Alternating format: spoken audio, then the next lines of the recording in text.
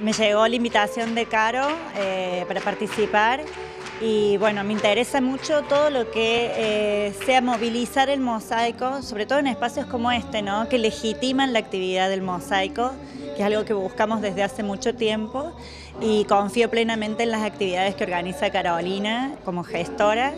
Mis alumnas se entusiasmaron también muchísimo en participar, es algo que les hace crecer mucho el trabajo colectivo, así que bueno, ya de por sí eso fue lo principal que nos interesó.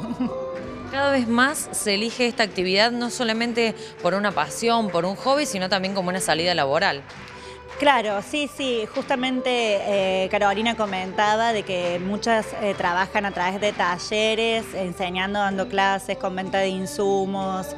Eh, tiene muchos rebusques, no es fácil, pero sí hay muchas maneras de trabajar a través del mosaico.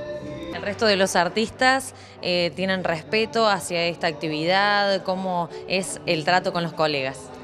Está costando a veces insertarlo en el ambiente, sobre todo universitario, ¿no? que es lo que estamos tanto luchando por meterlo, eh, por hacerlo reconocido, porque generalmente el mosaico ha sido ligado como una decoración arquitectónica. Pero bueno, como tiene otras salidas artísticas, eh, eh, está esta búsqueda de, abrir distintos caminos y de que sea reconocido por otros artistas. Se están realizando exposiciones mezclando con otros lenguajes para que sea reconocido.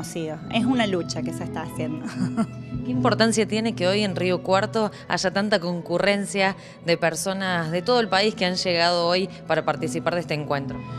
Bueno, esto es riquísimo de muchas maneras para quienes participan, para crecer, para aprender, profundizar en lo que hace y también para hacerse oír. Y esto que te comentaba de que este espacio legitima y le da un lugar especial a la actividad que hacemos.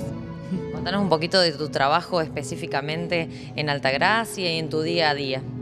Bueno, yo soy profesora en artes y vengo de la pintura. Soy licenciada en pintura, fui llegando a través de la pintura al mosaico y instalé mi taller allá. Trabajo, tengo mis alumnas, hago mis propias obras personales y también gestiono con una sociedad de gestión cultural que se llama Decopete, gestiono eventos artísticos. Eh, básicamente eso me dedico.